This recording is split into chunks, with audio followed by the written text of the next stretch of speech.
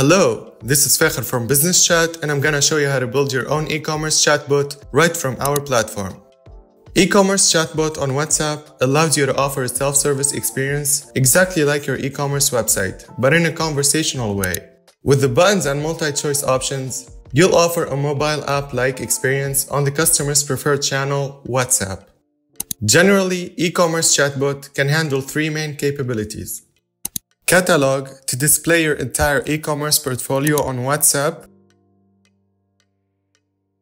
or specific categories of your products.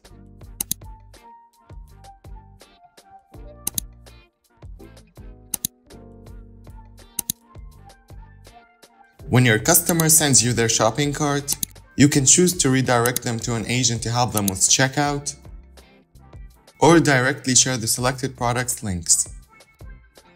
From the chatbots menu, your customers can get answers for questions about working hours, shop locations, return policy, or delivery status. And redirecting the conversation to a live agent. Now, let me show you how to build one. Go to the chatbot builder page and click get started. First, we have the chatbot menu. It's the first message your customers will see after the welcome message. You can add the text here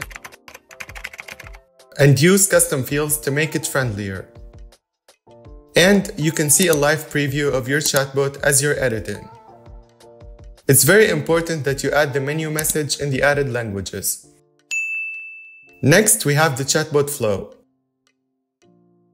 You can add up to 10 menu options to control your customer's flow. The Share Product response type allows you to share your Facebook catalog with your clients.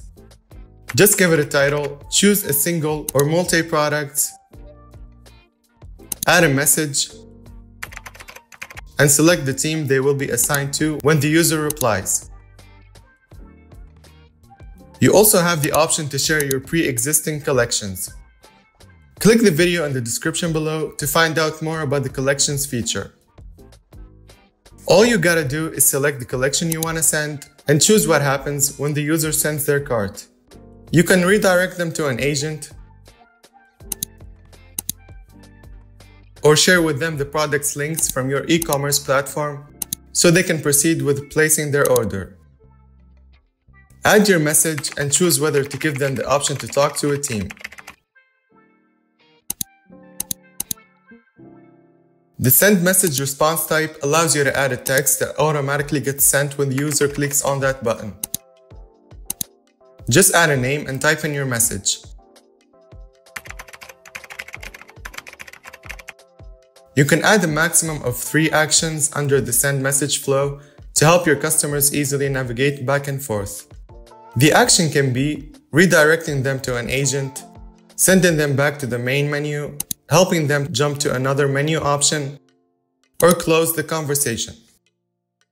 You can even send your location with the send message option to let your customers know where your physical store is at.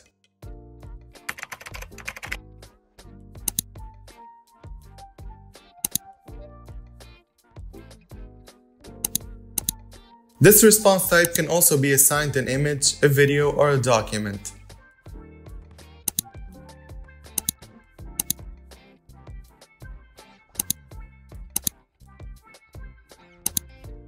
Now that you have multiple menu options, you can assign the other menu buttons under your messages and even rearrange them as well as the menu buttons using the drag and drop indicators.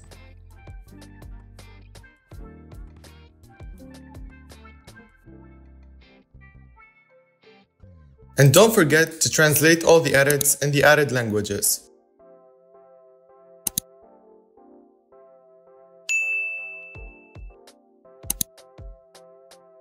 Now that we're done, let's test our chatbot.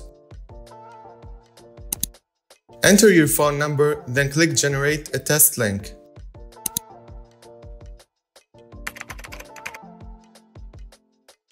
Choose between starting the test through the link or scanning the QR code with your phone.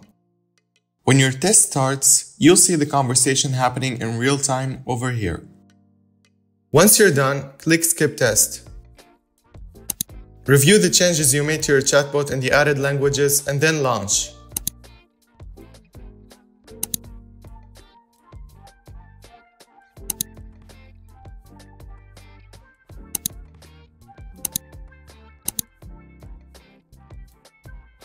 On the chatbot page, you'll be able to see when your bot was last updated, by who, and a preview of the latest version.